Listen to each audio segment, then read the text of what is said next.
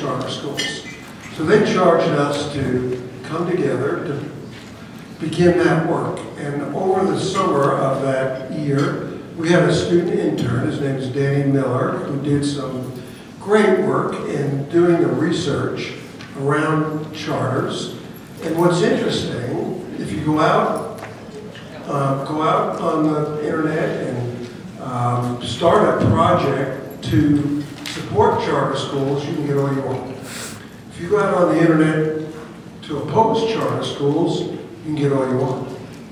So depending on the perspective that you go into it, you can get that kind of feedback. So our board wanted us to have an informational document to let our members in particular, and also our citizens and legislators, know what was actually going on, so that as we do move forward, there can be informed decisions.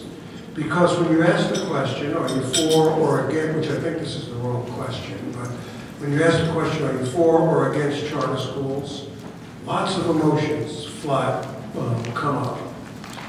And we need to be asking the question, are you for or against closing achievement gaps? And I think that's more about what we're about. But at any rate, uh, Danny did the paper, which was the starting point for a study group. We put out uh, a call to our membership uh, to serve on a uh, on a study group around charter schools and to inform us of our next steps. So we did that, and what came out of that was a, first of all, a revision of that original paper, and Susan Weston was able to bring all of the discussions together into the paper. Um, some of the intense discussions are not in there, but the, uh, but the, the realities about charter schools are in there. And you have that report in your packets. We're going to be releasing that to the media today. But we think it may be one of the very few um, projects, research papers out there that is neutral. And you'll see in there at this particular time, the Prichard Committee hasn't taken a position yet.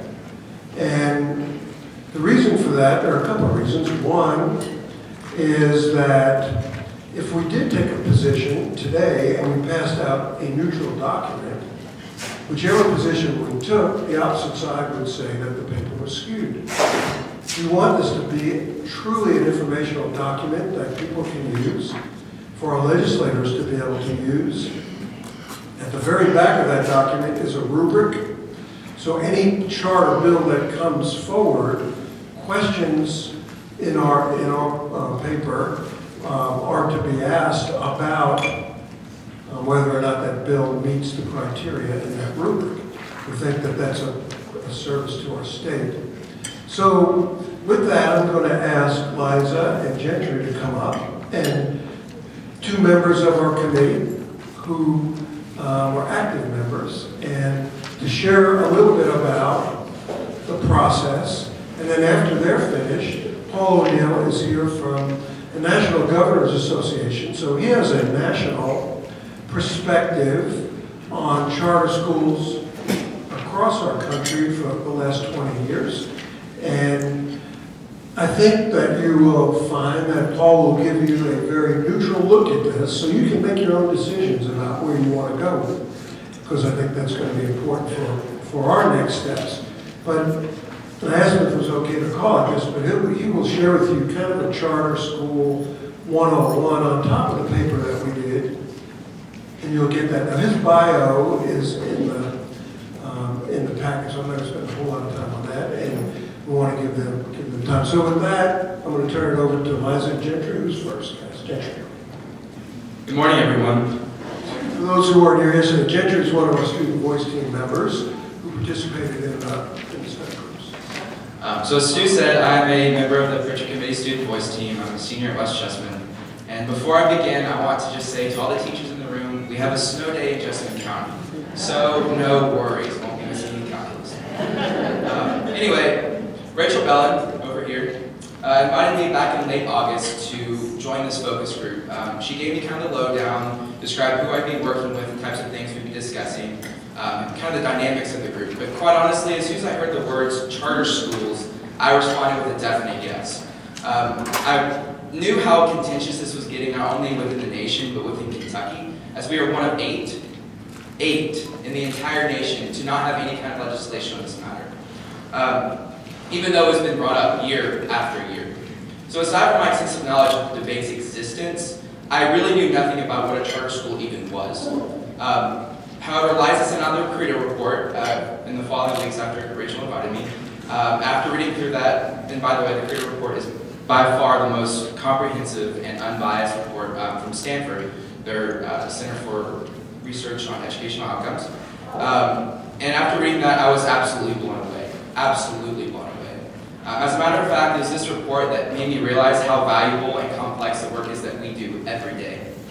Um, and I hate to give legislators a bone here, but I can now say that I understand how stressful, stressful their job is. Uh, guys, this is by far a monster of a debate. Um, the Prichard Committee will continue determining what's best for Kentucky students.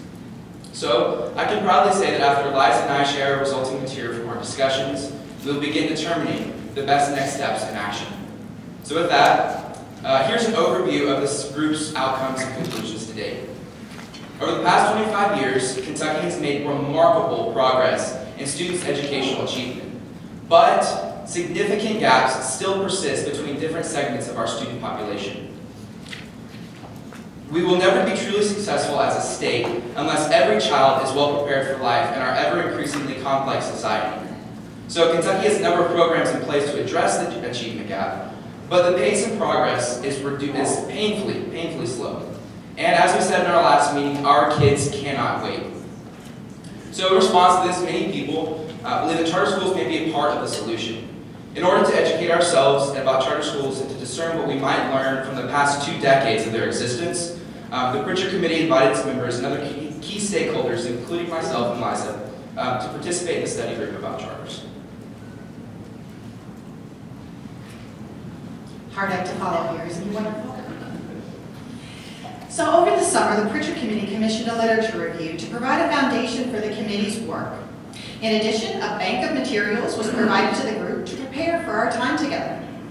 We were joined at our first meeting for a panel by Wayne Lewis, assistant professor at the University of Kentucky, as well as a leader in the Kentucky Charter Schools Association, and Mary Ann Blankenship, executive director of the Kentucky Education Association, who presented a for and against perspective on charter schools in Kentucky.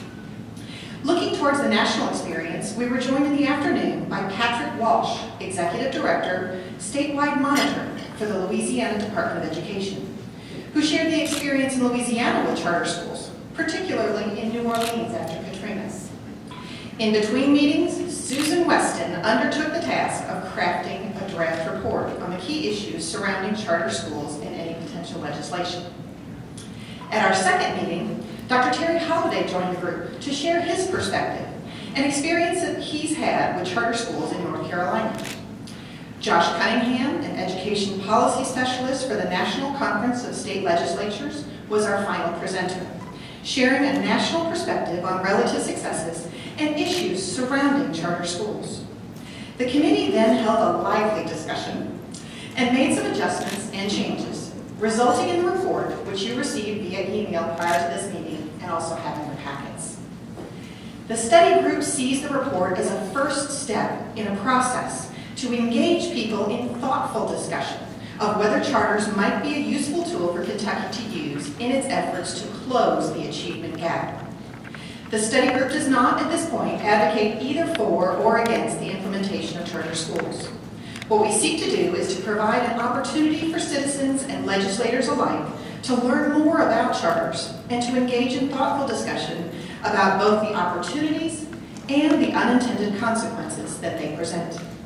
Our overall focus must be on finding and implementing the best strategies so that all children in Kentucky can succeed. Our thanks to the committee members who brought a variety of perspectives and experiences which made for a very rich examination of the subject. Committee members include Candace Caslin Brake, Sam Corbett, Frederick Cowgill, Ben Cundiff, Jean Dorton, Bill Garmer, Megan Glenn, Fannie Louise Maddox, Norma Meek, Helen Mountjoy, David Takow, Gentry Fitch, Christine Frank, Tim Hanner, Tracy Herman, Judy Casey, Rich Maddox, Vince Maddox, Chikiri Uchebu. And with that, now we would like to welcome Paul O'Neill of the National Governors Association to give the whole group a bit of a perspective on charter schools.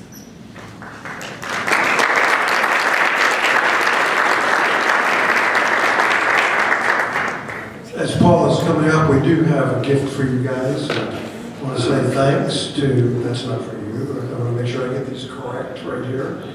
Um, Liza and Gentry, thank you guys so much. We appreciate you preparing for today.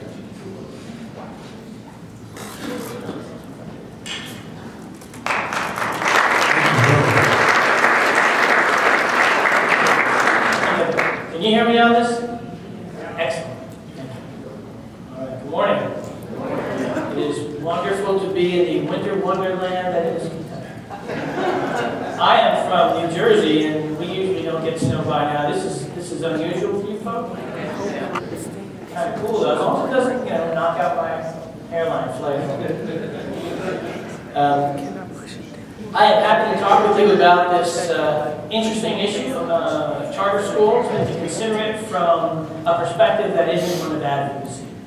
Um, And I think frequently people come to this issue uh, with their minds made up based on, on a variety of factors. I have never found, though, people who got involved with education, public education, who did it and weren't doing it because they cared about kids and families. And so I think it's a principled conversation to have. Um, I've got plenty of experience as an education lawyer um, and as an author. And as a, I, teach at, uh, at Columbia Teachers College. I teach education law and policy issues. Uh, charter schools among them. I spent a lot of time on special ed as well. Um, so I'm going to run through what I think is probably a fair account of, of, of uh, as Stu said, 101 for charter schools. If it sounds to you like I am veering to one side or the other, please throw some of the fruit back at me. I will make an adjustment.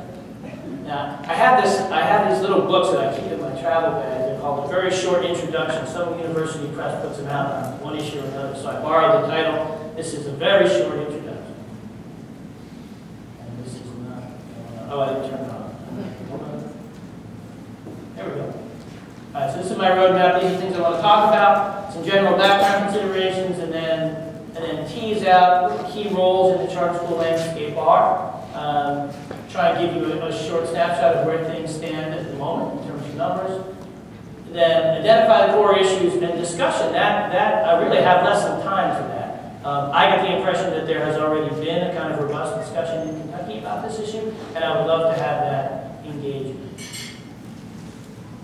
All right, well, charter schools started in the very early 1990s, but the idea of an independent public school with uh, school-based control uh, has been on, around for a long time. Albert Shanker at AFT supposedly came up with it on the back of a napkin at one point, and there are a variety of other sources um, that led to that. But, but Minnesota in 1991 passed the first thing to be recognized as an actual charter school law.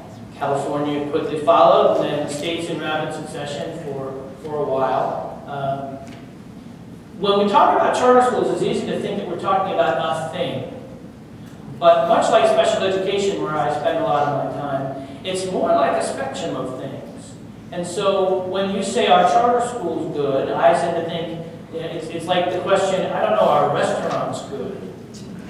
You know, oh, well, some of them. Um, and there's a tremendous amount of variety. And for a number of years, I published a book with LexisNexis um, called the Charter School Law Desk Book, which collected up all of the state statutes and regulations from across the country and tried to do a little bit of analysis of that. And, and you might be surprised at the variety. Things that are, are required in Connecticut might be illegal in Alaska. Um, the tremendous variety in exactly what it means when you say you're doing a charter school. But there are some commonalities, and I list a few of them here. It's a great variety of charter schools, including, uh, there's commonality in charter schools and public schools. Now, that's something, I read some of the press coming out of um, Kentucky papers before I showed up here today, And I, I saw frequently there are references to the distinction between charter schools and public schools.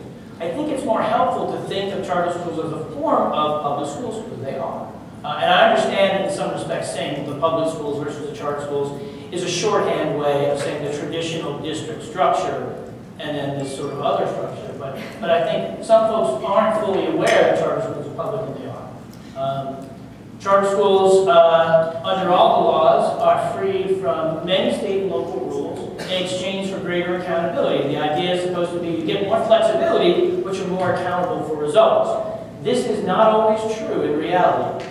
Um, and I think that's something that we'll, we'll come back to. Um, charter, the charter is a, is a, is a contract.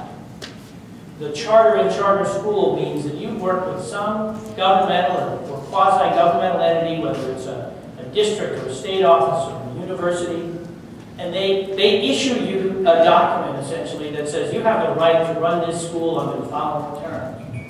And it's for a limited period of time. Term, term is often five years, sometimes more, sometimes less. In Arizona, it's 15 years, which is an awful long time. Um, At the end of the term, the authorizer, the governmental